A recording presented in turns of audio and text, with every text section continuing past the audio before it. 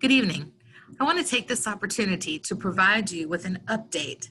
To date, we have welcomed students in pre-K, kindergarten, and grades 1, 2, 3, 6, 8, 9, and 12 back to school. Next week, students in grades 4, 5, 7, and 11 will join us for in-person instruction as well. It is certainly exciting to see our students returning to school for in-person instruction as it reflects that our community continues to set the example when it comes to working hard to control community transmission of COVID-19. I am pleased to report that our COVID-19 numbers for the Newton County community continue to remain stable.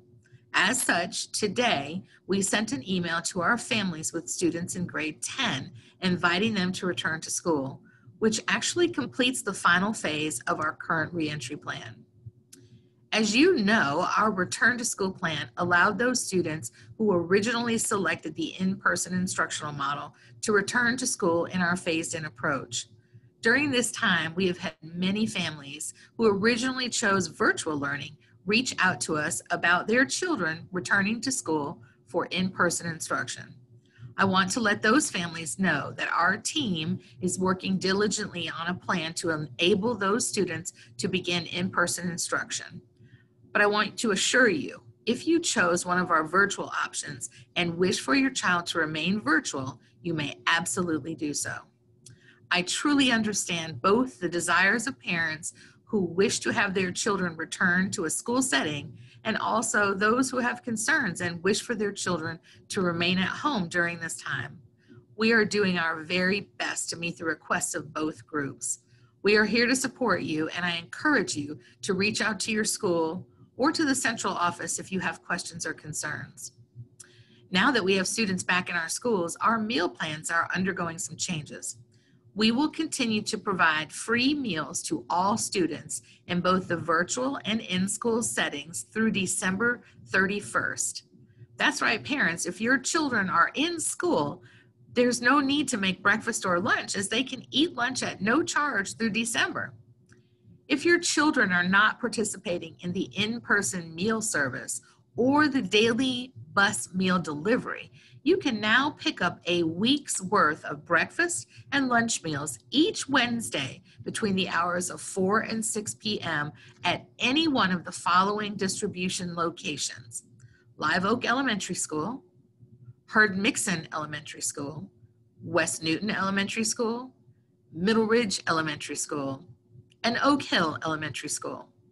Parents, you can pick up these free meals without your children being present. So I encourage you to take advantage of this free service.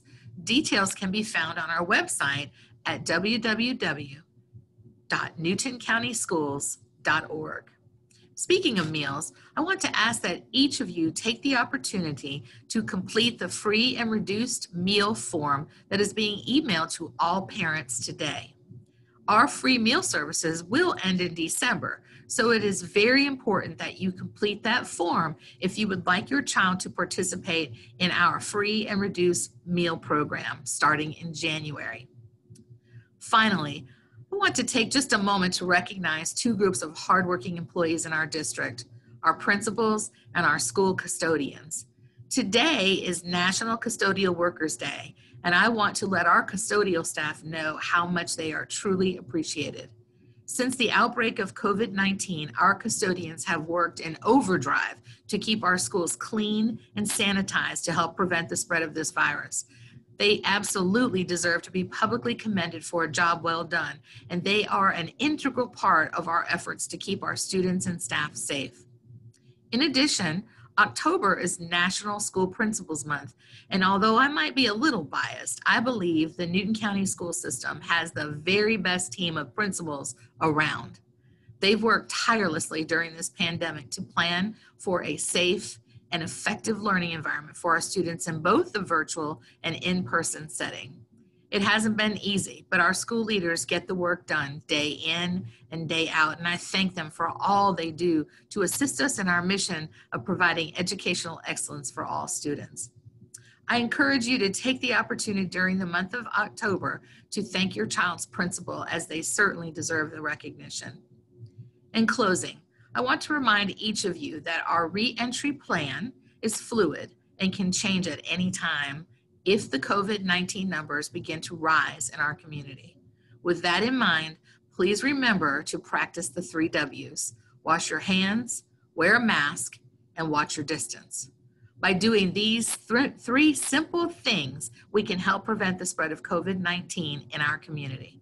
Thank you for your support and have a wonderful weekend. I hope you take time to get out there and enjoy this beautiful weather.